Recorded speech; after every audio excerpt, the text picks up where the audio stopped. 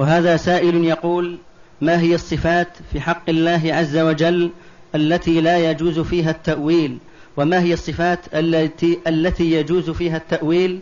فقد تفضلت أثناء الدرس فقلت قريب بمعنى قريب بعلمه وبإحاطته. ما في صفات تؤول؟ كل الصفات لا يجوز فيها التأويل. وقريب بعلمه هذا ليس من باب التأويل هذا من باب التفسير. هذا من باب التفسير. مثل قوله وهو معكم أينما كنتم. معنى بعلمه لا بذاته مختلط فينا هذا حلول مذهب الحلولية.